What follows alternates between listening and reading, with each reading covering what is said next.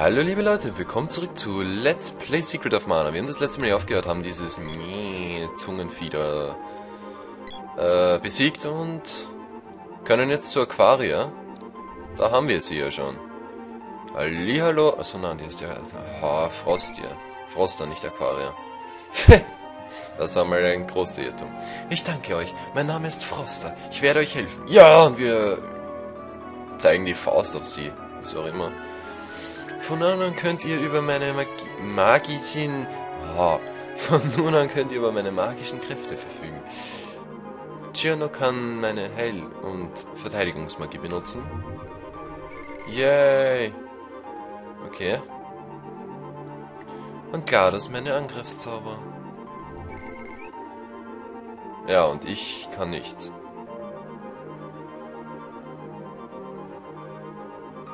Äh, und ich?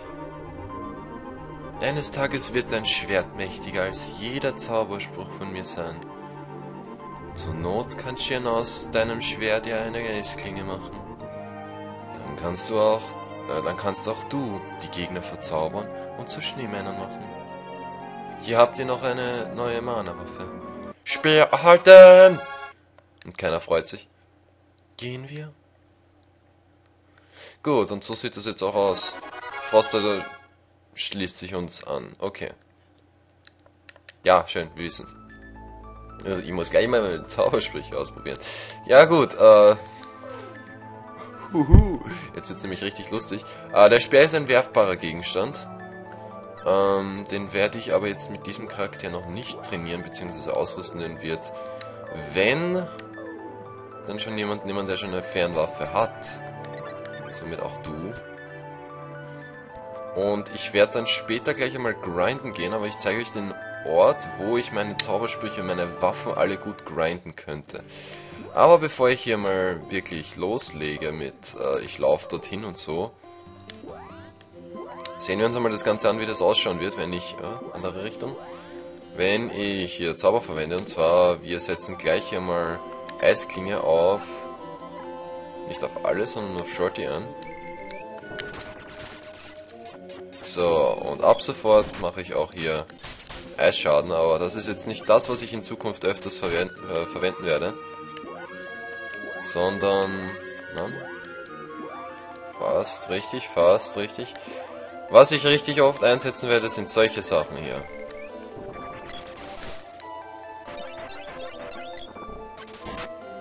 Das macht schön Schaden. Mit Schneemann kann, Schneemann kann ich, glaube ich, keinen Schaden machen. Deswegen wird Eisklinge auch etwas sein, was ich nicht wirklich verwenden werde. Aber dafür äh, eine spätere, die Steinklinge wird das sein, was ich gerne verwenden werde. So, mein Zauber ist schon verschwendet. Das haltet immer nur eine gewisse Andauer, wie oft ich draufschlage. Die Eisklinge. So, ihr beiden habt beide eine Fernwaffe, merke ich gerade. Das wollte ich eigentlich gar nicht. Ach, was soll's. Jetzt haben wir es schon, jetzt belassen wir es dabei. Immer Fische. So. Genügend Fische gekillt und wir können zurück.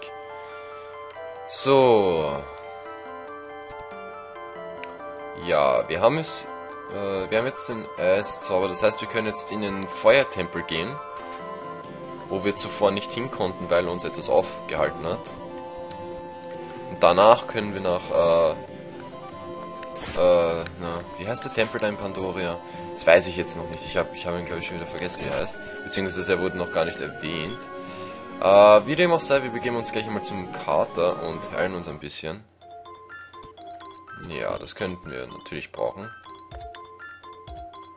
Äh, zum Beispiel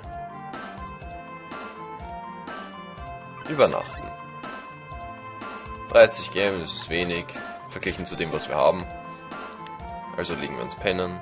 Den Beschleunigungsknopf werde ich nicht verwenden, in gar keiner äh, Sicht und Weise, um irgendwas zu beschleunigen. Nein, das werde ich nicht machen. So, haben wir das geschafft. Powerschlafen ist fertig. Und wir speichern nicht, weil wir haben ja das hier. So. Falls wir also verrecken, kommen wir wieder hierher.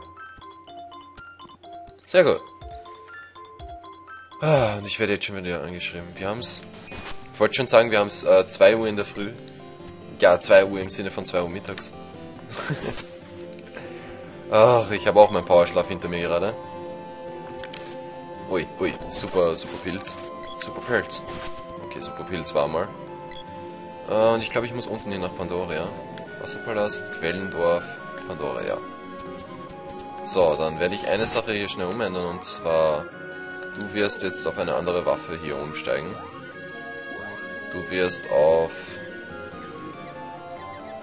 Das Blöde ist, ich habe ja äh, größtenteils nur Fernwaffen, oder du nimmst die, die, die Lanze hier. So, und gehst wieder zurück. So, da. Damit ich immer schön griffbereit die Zauber habe. Ja, da, ja, ja, so. Oh, ein Pogo-Push. Oh, das war's mal. das war einmal ein Pogo-Push, ne? Das auch. So, Double D, Double D, Double. Pilz. Das war mal ein Pilz.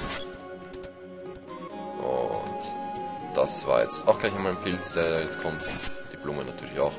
Okay, dann kommt noch da ist er. Ich habe schon gedacht, er hat sich versteckt. So. Wir machen sau viel Schaden jetzt einmal im Moment. Und es ist wunderbar, dass ich jetzt schon bei 6 Minuten Recording bin. Das heißt, ich werde jetzt hier mal meine ganzen Sachen hochgrinden auf Level 1. Äh, ich werde euch nur mal kurz demonstrieren, wie das Ganze aussieht. Und zwar, wir schnappen uns hier die Monster, wenn möglich alle auf den Screen. Äh, bleiben aber auf unserem Charakter wohlgemerkt. Wählen den jeweiligen Zauber aus, setzen ihn ein und wenn es dann wirklich schon so weit ist, dass die, der, äh, der Charakter, also der, der Geist wieder weg ist, kann ich den Zauber sofort nochmal spammen. Und das mache ich jetzt so oft, bis sie keine MP mehr hat. Muss ich mir merken, dass ich da immer die obere Taste zuerst drücke. Und jetzt habe ich nur noch auf den einen das eingesetzt. Das ist böse, weil... Ja, weil wegen. So, das geht jetzt nicht mehr. Geht's jetzt noch einmal? Nein, es geht jetzt nicht mehr, das habe ich mir schon gedacht. Macht ja nichts. Wie dem auch sei, so funktioniert das und das macht auch schön Schaden aufsummiert. Später werdet ihr nur noch 999 stehen sehen. Heilkräuter erhalten, sehr schön. Ja, und so funktioniert das. So werde ich das jetzt die ganze Zeit machen und mit, äh, mit ihr hier werde ich folgendes machen. Ich werde den Schwächsten, und zwar die Heilaura, immer auf sie einsetzen. Immer auf sie. So. Schaut halt immer, wenn ihr das macht, dass ihr immer den schwächsten Zauber verwendet. Das ist nämlich immer sehr hilfreich. So äh, verbraucht ihr wenigstens äh, nicht allzu viel Magiepunkte und haut auch schön rein dann. Was die äh, XP-Anzeige angeht, was die Skillpunkte angeht. Also die Skills sage ich schon, Spirit Level, so. Deswegen wird es auch bei ihr etwas schneller gehen. Als bei GLaDOS. Gut, also, äh, deswegen werde ich jetzt hier mal einen Cut machen und wir sehen uns dann gleich wieder, wenn ich die Sachen hochgelevelt habe. Noch ist es ja nur ein Level, was ich hoch... Nein, wir haben schon bei ihr geschafft, habe ich gerade gehört. Hier kann ich jetzt auch nichts mehr einsetzen, aber es ist trotzdem Genos Zauberlevel gestiegen. Froster erreicht Level 1. Sehr gut. Deswegen, bis gleich. So, gut, was habe ich jetzt... Oh, ja, voll den trockenen Mund, sorry. äh, ich zeige euch hier mal, äh, was ich jetzt gemacht habe. Ich habe hier auf Level 1 endlich geschafft, Klaus zu bringen. Hm. Werde jetzt schauen, dass ich in Zukunft... Äh, die ganzen Sachen hochlevel, die ich noch hochleveln kann. Sprich, äh, jetzt werde ich schauen, dass ich noch die Eislanze auf Level 2 bringe, dann kommt äh, die Klaue noch dran. Dann das Breitschwert und dann die Peitsche. Die Peitsche kommt bei mir als letztes, weil ich die Waffe ähm, nicht wirklich wichtigsten empfinde. Und die schreiben, glaube ich, immer noch alle Punkt, Punkt, Punkt. Ich glaube sogar der Typ im Shop noch. Nein, da ist kein Shop. Da geht's woanders hin. Da geht's in den Tempel hinein, wo ich noch nicht hinein will. Beziehungsweise noch, hinein, noch nicht hinein kann. So, mit dir kann ich glaube ich auch noch nicht. Nein. Das war mir irgendwie klar. Weil die Sachen hier sind eigentlich schon sehr gut zum Ausrüsten. Das habe ich glaube ich schon einmal gesagt. Ja, dann begeben wir uns einfach mal wieder zum Elfenteich, wenn ich mich nicht recht irre. Wo ist hier der Ausgang? Da. Übrigens, äh, jedes Mal, wenn ich mir die MP geheilt habe, hier hat man es für 10 Goldmünzen machen können. Dass ich komplett die ganze Gruppe heilen. Und das ist sehr, sehr gut. Das ist sehr billig. Hier kriegt man übrigens mehr Geld, glaube ich, wieder zusammen durch die Gegner. So, na komm. Klatschi. Ich glaube, die Eislands ist auch gut gegen die Monster dann im Feuertempel, schätze ich mal. Deswegen werde ich die mal ausgerüstet lassen. Für die Dauer des Tempels.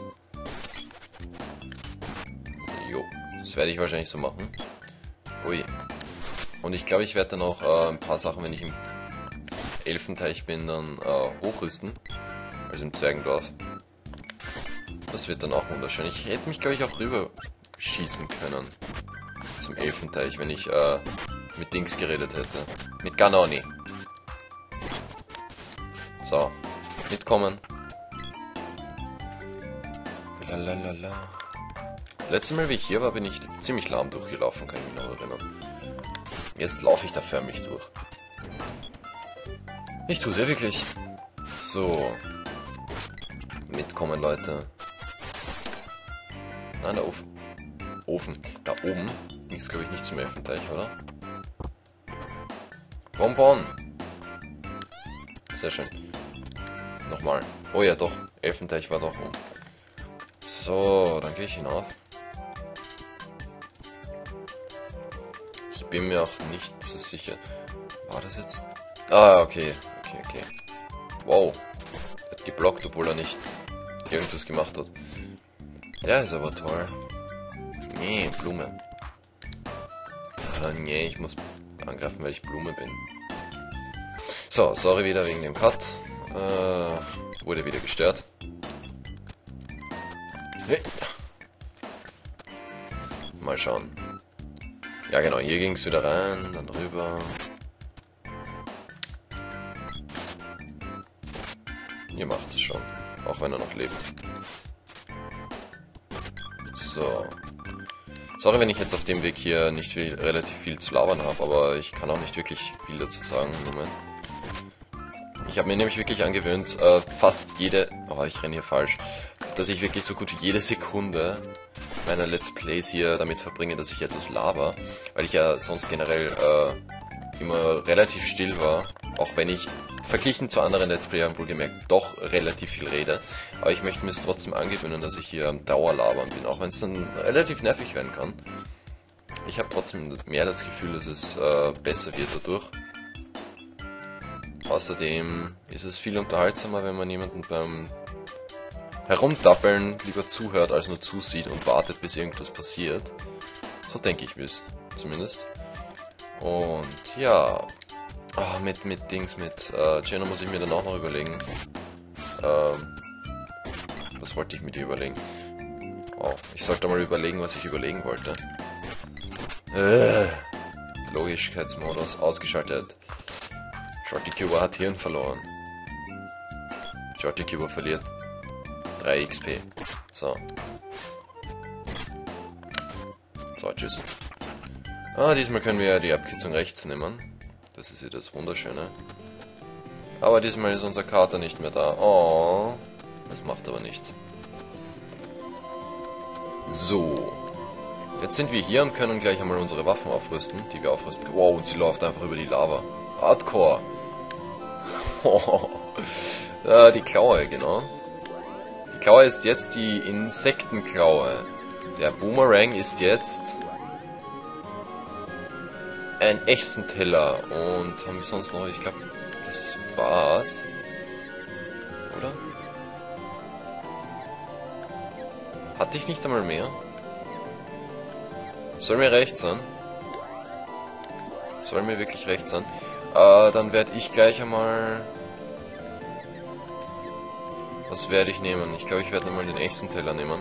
Das sieht jetzt übrigens so aus. Sieht jetzt nicht mehr so stylisch wie unser Boomerang aus. Finde ich auch schön, dass die das verändert haben. Aber wie dem auch sei, das ist jetzt das, was ich für Zukunft nehme. Zumindest für den Charakter jetzt einmal. Wir haben nämlich keine Insekten oder sonst irgendwas da drin. Das heißt, der Insekten-Dingsbums da würde mir nicht wirklich helfen. Aber wir bräuchten jetzt auch noch Rüstung für unseren anderen Charakter, für Cherno. So, das heißt, wir kaufen gleich einmal ein Kraftarmband für sie. Und, äh, ja, dann gleich auch mal auch noch eine Kettenweste für sie.